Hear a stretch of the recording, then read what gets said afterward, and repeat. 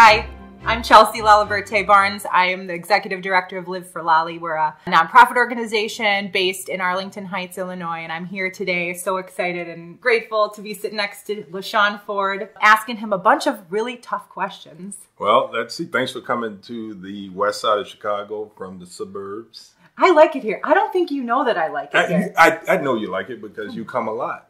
Yeah, So and it's clear that you know you were excited when you got out of your car. So I know you like it, and you're not getting paid to do this. So you're coming here because this is something that you believe in. So thank you. that's true. Not technically. Well, not right, technically. right. I mean, you didn't have to do this today. No. You know. no, I'm so glad that Right. you allowed us to come here. A lot of people don't know that people who look like me coming here from the suburbs. I spent three years um, helping Chicago Recovery Alliance and they were relatively unknown before we really had capitalized on trying to get people to understand the heroin crisis. I had spent a lot of time on those buses getting to know the people in this community. You know what? I'm so happy you said heroin crisis because Oh, so often people say opioid crisis, and we know heroin is an opioid, but people understand that people in on the west side of Chicago, in Chicago, are overdosing off of heroin with the fentanyl lace heroin. And now it's like anything you buy on the street is Right. potentially laced with fentanyl. And and you know the reason why I say that I'm glad you said heroin because the national attention is on opioid. Right. and that's why it's so good that you said heroin because you know even people in the suburbs that come to the west side of chicago they're not dying of opioid pills Right. they're really dying of fentanyl laced heroin Right. Exactly.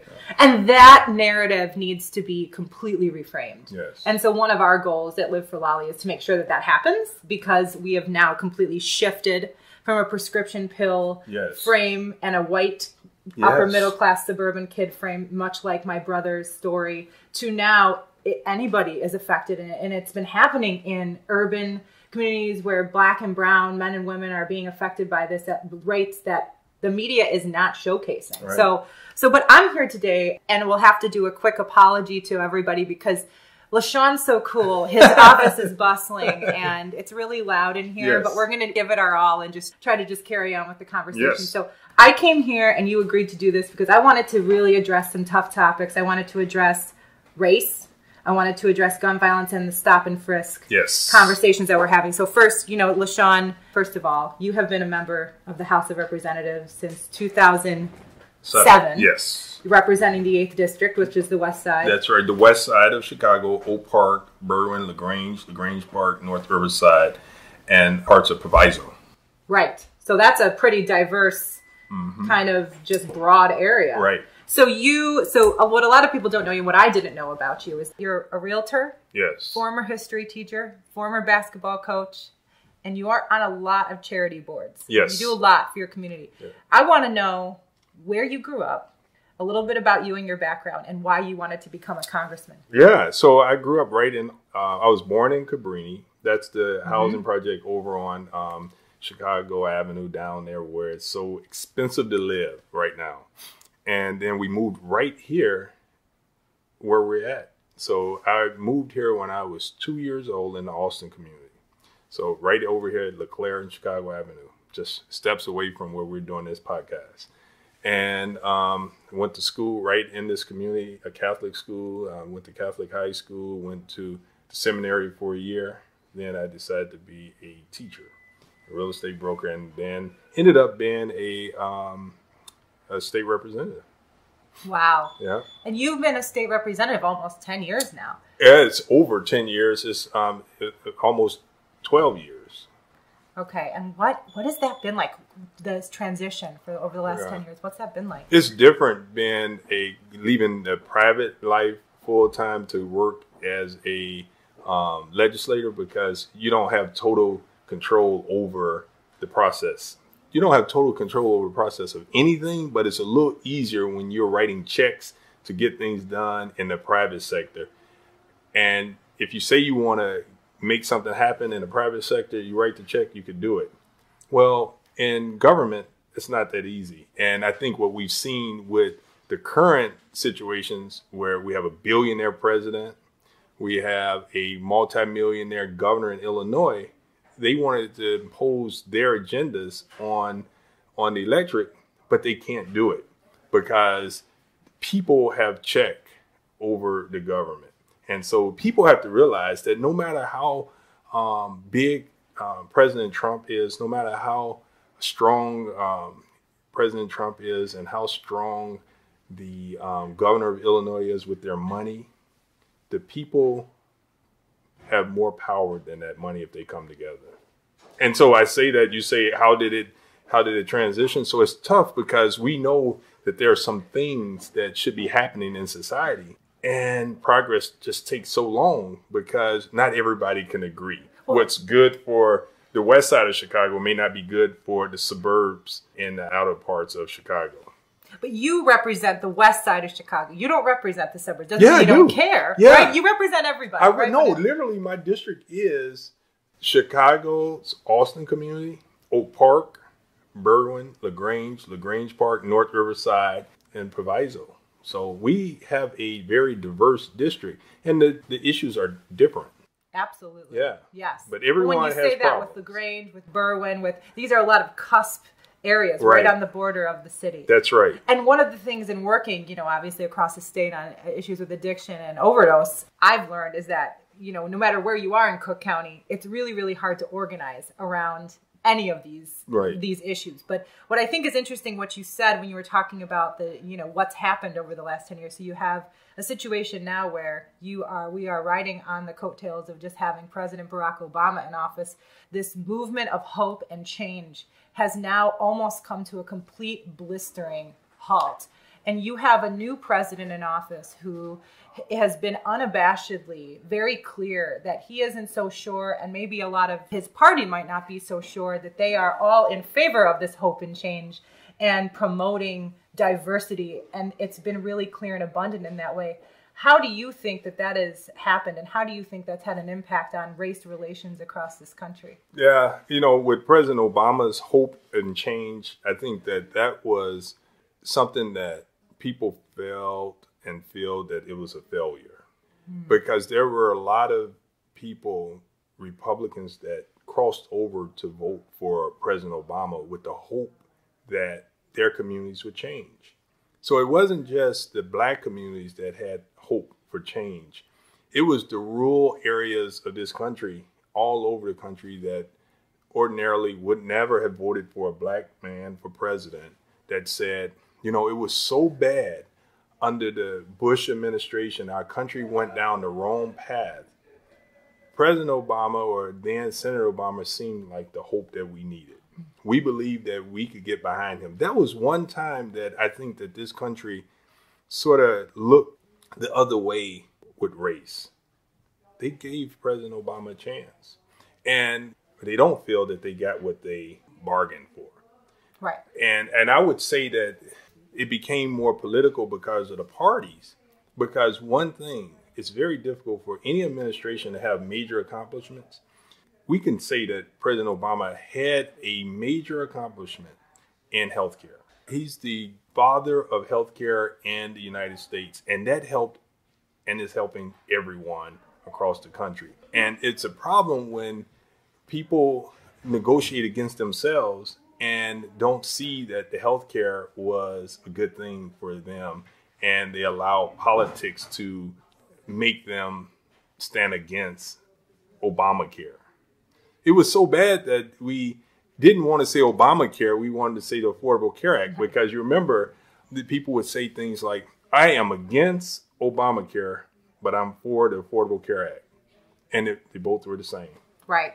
And it was all about political language right Yes. around that. And we haven't even seen that problem get lifted at all. And I know it was not meant to in just a few years. It was meant to be a long term standing solution if it happened the way it was supposed to be laid out. And now it's in a totally different area and I think disparately affecting communities, uh, vulnerable communities, Yes. communities of color, communities of low income. And we see that just across the board. It seems like an assault almost on those communities. But but before we go from Yeah. there, we have to make sure that even the individuals that is not on Medicaid, the Obamacare, the Affordable Care Act helped America itself because it took away life limits. Right. It took away pre-existing conditions.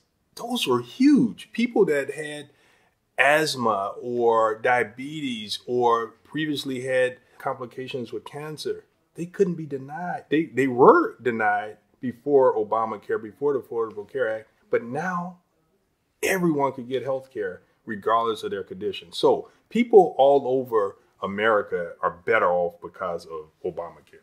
And I think that that has definitely been put on this a cost mm-hmm. lately. I don't think that a lot of people across this country think that that is the way they would have liked it to right. have happened because I don't know that everybody shares the values maybe that you and I do of that everybody deserves healthcare and views it as a right.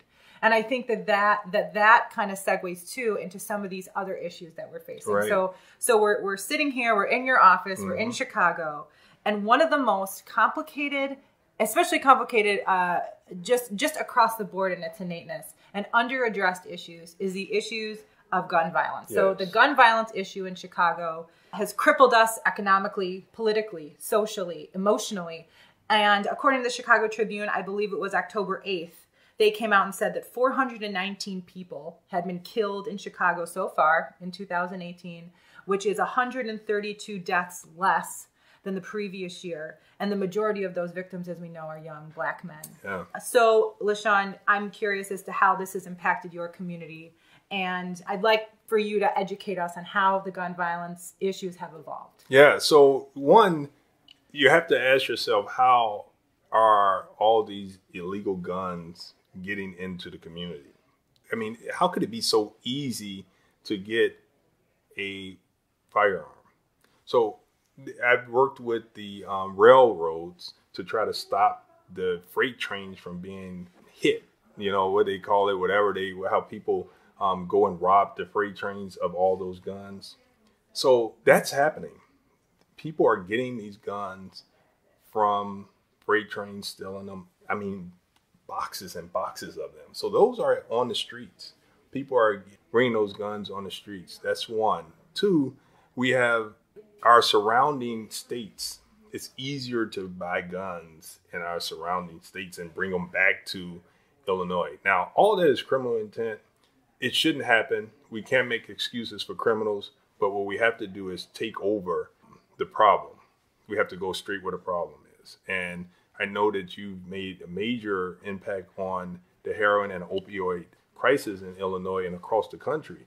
And I appreciate that. But we have to have that same person like you somewhere that's willing to shine a light on mental health in these communities. Because most people that's willing to kill someone, they probably have experienced death in their own lives because there's a belief that hurt people hurt people. It's true. And so that's, we can't, we have to recognize that the violence continues because people in these communities are experiencing it. And I'll tell you a story. I have a, a little cousin, and this is sad because he's probably eight years old. And first, his mother was killed. And a year later, his father was killed and his wife. And so this little eight year old experienced the death of three people that he loved, and they're no longer around. And so his birthday came, and the family asked him, What did he want for his birthday? And he said, A gun. Profound. So this is generational. Yes. This is happening in the way that that little two, three, four year old kids are seeing around them that this is the way. This, this is, is, the way, the way to go.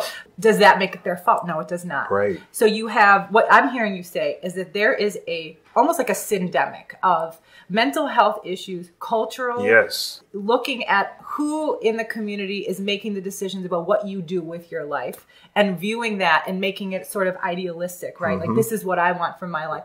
And then you also have this issue of deep mental illness and addiction and it's all working together at the same time so i heard you would say you know you would mention that you know all the work we've done on heroin and mm-hmm. opiates it almost seems like what i'm hearing you say too is that if you're going to advocate you have to shift your focus you can't just do it the way that you've always done. Right. We have to change the entire model upon which we are choosing to address this issue. Yeah. You can't just one note it anymore. You have to really look at it holistically. And and I think that that's why I really appreciate this time to talk with you because you said to me, you know, how can a white person from the suburbs help? What can we do to help you in the communities that you serve?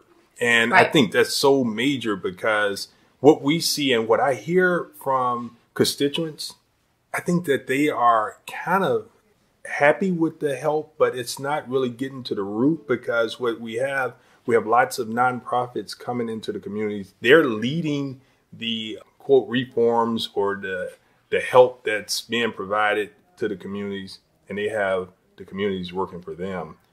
They come with the agenda. Well, the communities that I represent say that we should be in charge of these programs because we know what's best. Mm-hmm. Stop letting them come into our communities telling us what we need. And for example, the reentry community. There are a lot of white organizations running reentry programs in the black communities.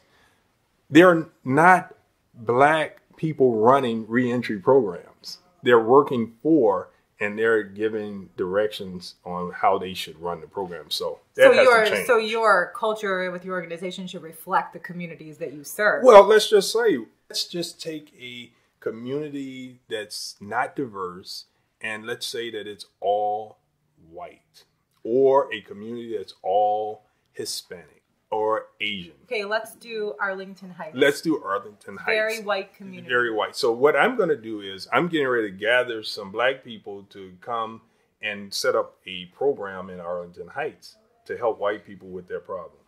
Without right. yeah, so I don't know how that'd work.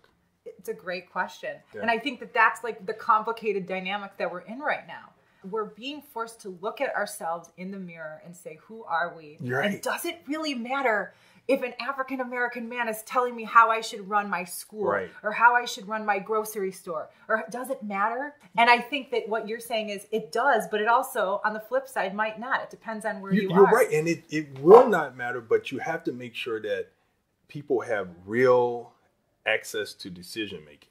Right. That's key. Blacks, whites, Hispanics, everybody have to work together because we could get there better if we're all working together with a plan to achieve the goal that we are all you were talking about we all want to see we all want to see the end to senseless gun violence we all want to see people living normal lives after being addicted to a substance we all want to see healthy communities. But we can't do it if we are not in it together and so but being in it together means understanding something that you've never understanding something that's new to you, right? So right. I'm just going to give you a quick example. Mm-hmm. So black mothers are teaching their young sons how to avoid getting shot, right? right? And then you have white mothers, like my mother, growing up in Buffalo Grove, right. which is like one of the whitest communities you could get, right? Mm-hmm. Teaching me and my brother about how to just avoid interacting wow. with police, right. right? So you have two totally different conversations about how people interact with law enforcement in general. So I'm curious, you know, based on that, what would you tell your daughter? Yeah. And what do you think mothers and, and fathers should be explaining to their kids about how this is happening and the lessons maybe they can learn from that? So that's a really good question. What I tell my daughter is life is hard and it's going to be difficult. Mm. But you can't complicate your life by making bad decisions you have to stay in school. You have to do the best that you can so that when these challenges arise, you can deal with them. You can't throw yourself out of possibilities by not going to school, getting an education, being trained in something. That's so very important. And so, even with society being unfair, you have to fight and you have to make sure that you do everything to get what's due to you. And society owes black kids as much as it owes white kids. And so I think that black people, brown people, everyone have to demand those special gifts that God gave us. You know, life, sure. liberty, and the pursuit of happiness. Right. I think that that is so profound what you just said because I know that the conversation that my parents had with me was not about how to achieve X, Y, or Z. Mm-hmm. It wasn't about how to get out of adversity. It was about how to live your life day to day and be a nice person. Yeah. The adversity related issues didn't really come up. I mean, Right. it wasn't really until Oh, I think good. 2003, 2004, when social media really had this big movement that we started to actually see this kind of like op- like this obstinance Yeah. happen at these accelerated levels because it was like right in front of your face. Everything be- was so hidden still. You know what? You're right. I do have to tell my daughter that, you know, you're going to experience racism. You know, in fact, Wow. I ask her questions, and a lot of times because they're young, they don't understand what's happening to them, but it's happening. you know, and so you want to make them aware of what's happening in their lives, and that way they could be able to deal with it. Right. And, and she's, and you know, that's our goal. She's at a school that's very, very diverse over in Oak Park, River Forest. So Great. that, that they, they just did a film or they're doing a series of things on that school. And so Starz doing a documentary on that school about racism. Wow. So it's a big deal. Wow. And that's what she's experiencing. You know, interestingly enough, I just did a training, a naloxone training for the Oak Park Library because they had a young man die of an overdose in their bathroom. Yes. I, And I remember you did that. Yes. And we came in there and just provided them with naloxone. But I just thought that that was really interesting. That the first thing that they thought is, well, we got to fix this. Right. I thought, what a great, what a great move. I don't understand why we don't have why people are still dying of overdoses, especially at the same rate when there is naloxone out there and that it's preventable. You know? Well, why do you think that is? You know, because we haven't had more conversations like this, and people, even our healthcare providers, I don't think they get it yet. There's something to that that they don't get it. Well, also, let's take a look at how the media is portraying this still. That they are not covering the issues that are happening in the inner city of Chicago, where you have mainly black and brown men dying from overdoses who are between the ages of 45 and 55 mm. in this community. And, and you aren't hearing that story. Right. We are still funneling out stories of what happens to white people in the suburbs still. That's just the truth. And I think that has a lot to do with the reason why potentially we aren't covering the issues with stop and frisk and mm-hmm. gun violence appropriately because we actually aren't elevating those stories appropriately. All you hear about on the nightly news is another eight young men just died. Right. And how, so now we're all right, right? Like this is all in our face. We're all getting numb to it. How do you change that? Yes, that's right. Because I think that we're just looking to report the bad news, and the news is not really talking about how did we get here and how do we end this bad news. I think they just want more of it. And so I mm-hmm. think that we have to, without a doubt, change. You know, that you said refocus and and and change and and take it from expecting it to saying that this is not going to be happening anymore. And once we do that, once we help our society the way we help our families, you know, if our family is in trouble, we do everything that we can to help them. Right. And so I don't think society is like that. Society is waiting for trouble to happen instead of knowing that if we see 10 men on a corner, that's a red flag. Right. That must be something that we need to go to to find out why are you standing on these corners? I mean, what's your life like? And- But it also seems to me, and, and I don't know how you feel about this, that nobody has really brought up an idea for how to end this. There Right, hasn't really been exactly. like like when you hear our governor and um and uh, JB Pritzker kind of going at it, you have these questions that come up, but no one will give you a straight answer like how do we fix this problem?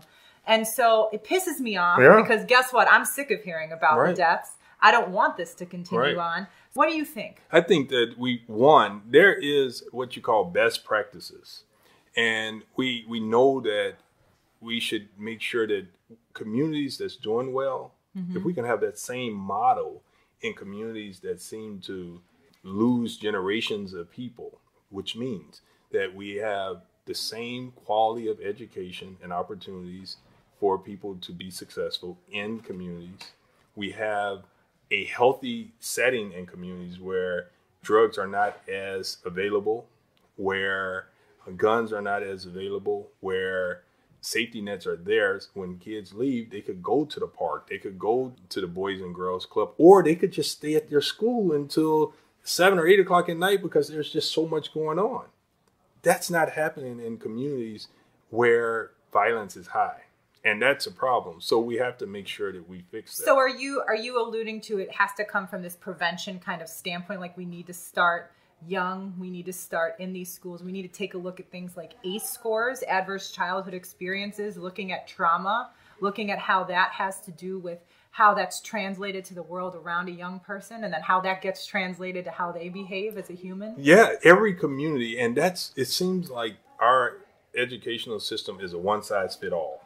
You're right. And so when you have a community like Arlington Heights that has not experienced the same trauma, Right. you can't expect for the same model to work in Austin, in Lawndale, in Englewood, because you have to deal with the problems that these communities have created. For instance, you know, if you're from Arlington Heights and you are addicted to heroin and you go to a treatment and you come home, you're probably going to have a better chance at recovering. Maybe. Maybe, but guess what? Probably, but it's going to be much better than coming back to Austin or Englewood where heroin is right outside your door. And there's not much else opportunity, right? So you're right. Like at least in Arlington Heights, you know you have a place to go. Yeah. You know that there's opportunity for you. You know there's access. And it's going to be harder to get the heroin. You got to get on the highway, the heroin highway to come to Austin to get it. Yeah, right. And right. so, but in Austin, you leave the treatment Right. center and it's right there waiting on you to come back home. So right, let's like Gateway Foundation Get- is right next to where the action is Isn't happening. that something? Amazing. And you know what? Their program is awesome. Right. I got to say that. They have a great program. Yeah. Um, but I think you're making the point. It's like, it's like, even if you could change your life, even if you made the decision, I'm not going to do this anymore, the, rel- the relative likelihood of you having to renege on that is high. It's Because high. it's right in front Yes. of your face. Right. And and even if you want to be successful at a school and you're dealing with PTSD because your community is filled with these adverse situations, how are you going to go to school ready to learn?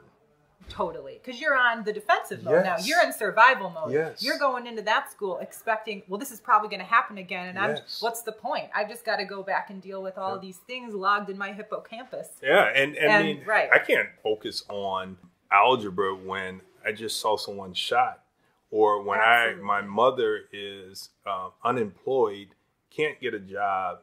Maybe a child's mother is on some substance. Maybe a child's mother is experiencing just behavior health problems and not able to get the help because in the city of Chicago, the mayor shut down the mental health facilities. That's you, a problem. You have to have Chance the Rapper come in and To- save the day right. and give $100,000 Right. to 10 organizations just to get it back up just and to, running and, again. and that to me that was just a public service announcement because a hundred thousand for to give out grants it's gonna you know that's just not enough but thank you chance for doing it. I think it's amazing. You want to hear something really interesting, though?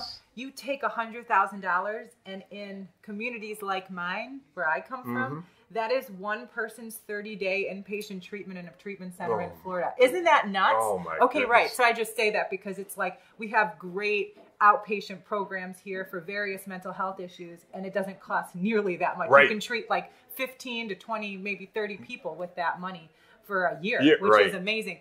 So, so I think one of the other issues is right. So last week we had Jason Van Dyke, former police officer, charged with second degree murder, 16 counts of aggravated battery for what he did to Laquan Yeah. McDonald, judged by a jury of his peers. What type of vindication or change does that produce for this community? Does it help?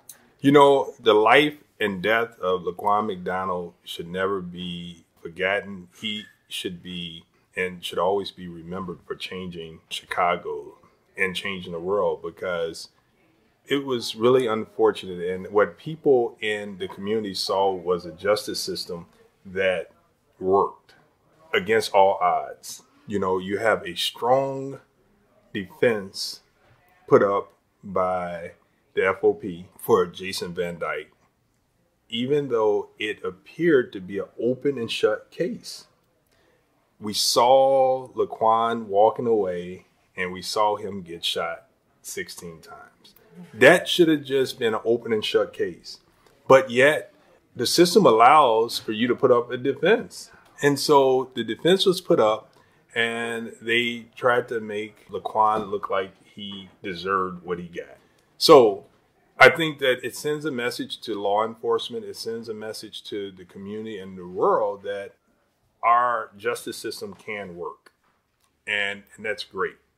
And then on the flip, you see what happened with this whole Kavanaugh situation, and you're thinking to yourself, Yes. wait, whoa, whoa, whoa, whoa, whoa, whoa, whoa. Yeah. Let's back up a second. And then you realize we've got work to do. We, we have We've work to do. work to and, do. and We I'm do. just so happy that the appointment to the Supreme Court did not deal with the criminal justice system. Had it been a part of the criminal justice system, it would have been difficult. So I'm very happy that the criminal justice system was tried and it worked, in my opinion. This one was political with the Supreme Court. And so that was all political, whether he was guilty of doing things to um, Dr. Ford or not, I don't know. But we have to make sure we draw the distinction politics versus our justice system. Right. And, and seeing how, because the criminal justice system wasn't utilized in one of these cases, oh, Yes. it, how what that did right. and the divisiveness that it caused. I'm interested in what you have to say about this. So, because of the fact that, let's face it, this podcast's audience are mainly white people Right. who look like me, right. I want them to understand things that they're not going to hear from the media about what's going on right now in this community. What are some myths you'd like to dispel even if it's just one or two? And what do you what can you share with folks who look like me how they can help really in a real way? Like Yeah, I think one we could talk about the myth that black people really, really want to work with white people and not always work for. That's Right. so very important. Black people want to have a say in what happens in their life and work with white people to help make that happen. The myths of black people are lazy is just ridiculous. You know, black people every day they go to work. You know, they struggle and they fight for their kids. You have black people sending their kids to private schools. That costs money. You have black people buying cars. That costs money, which means that they have to work. You have black people that own homes. How do they do that? Because they work. You have black people that's graduating from universities. How do they do it? Because they work. And they they go to school and they work hard to get their degrees. And so we have to make sure that we have these conversations like this. And once again, I appreciate you saying, how do we work together as whites and blacks so that we can better understand one another? I think that the myth that's out there is exactly that. And we have to make sure that we get to know each other. We have to become aware and not look at the media's perception of what one another's life is like. as you're talking, it's becoming profoundly sad to me that we have to teach ourselves basic facts about people just because they don't look like us. Right. It's so profound and how we've been duped in a way by the party rhetoric, by the media, by all these different kinds of exposure. Not to place blame on the media because I think that their motivation a lot of the time is ratings. Yeah. As, but but you have this back to the basics. We must start somewhere else Yeah. and and it and it's profound to me and i and how interesting black people want to work Oh, with yes. white people Yes. not for them Right, so right, simple right. like what you know but i think what i'm hearing you say is we need to include the people we are need to trying to help You know, and the myth of if I see a black person, I should be afraid. oh I mean, that's something wrong with that. I mean, it is something wrong with that we judge the book by the cover. And that's dangerous for people that do it because the person that you think might hit you over the head may not be the one that's going to hit you over the head. That person could save you. And the other person that you expect to be your protector could be the one that harms you. And so that being said, mm-hmm. we have to make sure that we protect ourselves by being fair in our thinking and not judge a book by its cover. You know, it's unfortunate. Even me, as a state representative, as I could have on a suit, eh, still there is still some bias towards me. Right. Like there's got to be something going on. Yes. Like you're corrupt Right, in some way. right. But you know what's interesting though, and I think this might be just ingrained in me, and I think we have to recognize too that a lot of this like white privilege stuff, these prejudice, this prejudice stuff comes from a lot of the way we're trained. So as I was driving down here, I locked my car. Yeah, Okay, I did because that's how I was trained to lock you as a white girl from the Right, suburbs to right. lock my car and protect my stuff, Right. and protect my things in an environment where See, it's questionable. now Does I'm that glad- make me racist? that doesn't make you racist. It makes you sort of vulnerable. Because if you don't lock your doors everywhere, you're vulnerable because where you could get hurt because you put your guards down is where you might get hurt. Well, I do lock So them lock them everywhere. everywhere. But was the reason that I did it different from the reason I might do it by my office or my house? I don't know. I'll If you if you now you have to watch it and see if you lock them everywhere then you didn't do anything differently. yeah, But if you lock them deliberately because you were moving into an area, then I can't say that it's bad because crime happens around here because you have a high unemployment. Certainly. And right. so there's a chance that something could happen to you. But that same possibility can happen anywhere. oh yeah, there was a guy down the street from my house the other day who killed four people. See? I know, Right. right? So exactly. So that's what we have to recognize. But if we don't ask these questions Right. and have these discussions, we are never going to get it. right. I- And we're never going to get it. And you have to tell white people we have to do everything to to work and help our brothers and sisters of different persuasions. Your life is going to be better when your brothers and sisters of different races' lives improve. So if I'm living my best life, everyone's living their best life, your life is going to be improved. But if you are allowing the top 1% that's controlling the narrative with all the money to divide us based on race, we're all going to fail. And because that's what's happening. It's the money people that's putting the divide with racism and guns and things like that when we're all struggling to survive and have that happy life. right. So maybe the lesson there is do your due diligence when you're actually voting. Yes. We have an election coming up, Yes. midterms. Yes. It's going to be insane. You But, know, yeah. I have I have a prediction that's probably different. I, I would say that it appears that the Democrats are poised to win the mansion back um, from Rauner, but I think that if JB doesn't do something to mobilize the black community and get the vote out, I believe that we can have a second term of Rauner. Yes. Because what I'm seeing from all of the conservative podcasts Yeah. I listen to, because I have to, right. Right. In order to be informed and understand how to do policy. work. Right.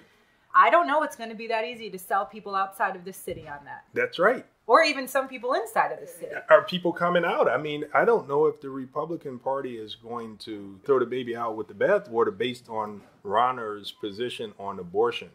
You know, he signed the bill, Right. but the question is, are they going to give, are they going to stay at home or are they going to come out and make sure the Republicans win? I think the Democrats are expecting Rauner's base to be gone. Mm-hmm. And if that's the case, then Rauner will lose. But I'm thinking that the Republicans are playing footsie with uh, Rauner, and they're going to um, come out and vote. We should never undermine them just because we're hearing that the Democrats are fired up. We Right. should never, Right. ever rest on those laurels. Well, I hope you guys do rest. we will. We will. and I hope you guys rest. As a Democrat, I I'm hoping that the Democrats win, and as Yeah. Republicans, they're hoping that the um, Republicans win. And I know you're um, nonpartisan. we believe at Live for Lali that all people deserve their rights to be heard, that their rights to be met. We believe that drug users have rights. That's right. And and they do. Is Because they're do people. of They're not just drug users. They're people. I mean, come on now. Is there a Bill of Rights for um, addiction? A Bill of Rights? I don't know. There you go. Now you you can um, work on that. That's a really good point. Like, what is what are the rights? So there's a great union down here called the Drug Users Union, Right. and we're and you know with without them, we don't know that things like you know needle exchanges, and Right. methadone, and safe consumption sites. God forbid I even bring it up because it seems like every time I do, I get accosted. Yeah. Um, might work because they're Harm telling reduction. us that it works. Yeah, harm, harm- reduction. yes. And there's harm reduction with gun violence, Right. with all these other issues too. Why are we ignoring these things that need to happen? So, So, so, I think that that's you, gonna the- you want to do a bill of rights for um, this? I can. Will you I'll me? work with you. Okay. So I have a question so that they know there's a, there's something called naloxone. Yeah. Sure. And people, everyone should have it like a smoke detector in their house. What's the new point that we're trying to get out about naloxone? that if you don't have a pulse, you can't recover from an overdose. Don't be afraid of naloxone. We Yeah. passed lots of laws to make it very Yeah. able for you to have it. So I think the last thing that I think, if you know someone that's addicted to a substance like heroin, you should have a kit. And the Surgeon General came out actually a couple months ago and said that everybody should actually Yep. have naloxone on them because you're more likely to encounter an overdose right now than you are will, likely to encounter um, a fatal car crash, a suicide, a homicide in this country. We should all be carrying it. And so I do encourage that. I know you don't think you should, but you know, in order to change the tide of this, we all have to be working together to save lives. And that means stepping up for your fellow Yeah. man, brother, or sister to do that. Yep. But you know, oh, you're the first one to teach me about naloxone. Just so I you know. know.